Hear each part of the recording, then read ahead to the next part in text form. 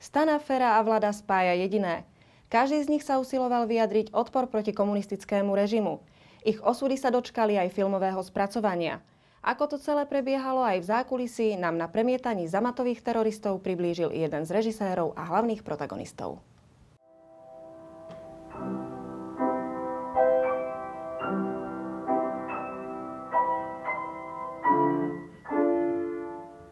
Pôvodne som to nechcel zverejňovať, vyšlo to v Čechách pod pseudonymom Svedectvo GFP a neskôr sa niečo publikoval na Slovensku pod týmto pseudonymom a dozvedel sa o tom e, Paolo Pekarčík, toho času ešte študent, ktorý ma navštívil, kontaktoval a presvedčil, aby som proste sa podujal na to, že o tom natočí taký krátky dokumentárny film. Týkalo sa to len toho môjho príbehu v tom čase. Mňa oslovil Fero Bednar tým, že nesedel na zadku za socializmu. Pre mňa vlastne socializmus, mňa sa to v princípe netýkalo. A vlastne nevidel som ešte tie kľúčky toho režimu. Začal som sa viacej pýtať rodičov, ako sa vtedy žilo. Podľa toho, čo mi rozprávali, tak teraz viem odhadnúť ako keby hodnotu toho gesta, ktoré urobil Fero Bednar. Traja režiséri, tri postavy a tri témy. Na prvý pohľad pohľad mnohých napadne, že každý režisér mapuje jeden príbeh. Nie je to tak.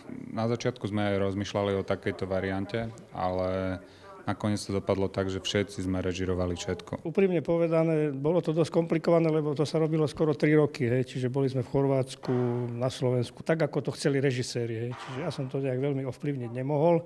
Nože pocity boli rôzne. Čo sa týka nejakého výskumu, ako sme sa dostali ku ďalším, ten bol veľmi jednoduchý.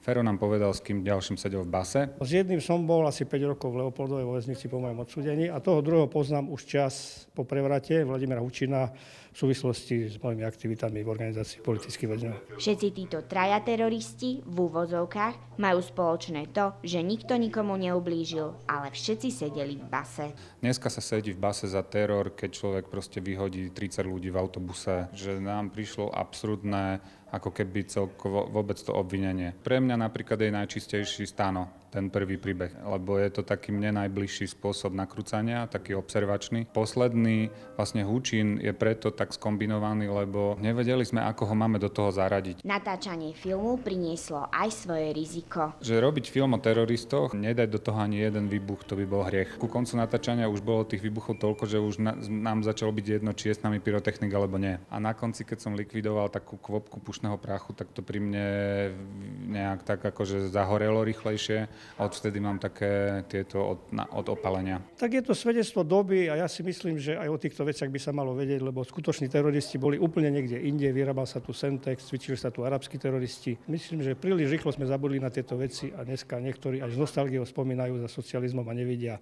vlastne, že to bol jednoducho jeden husný totalitný zločinecký režim.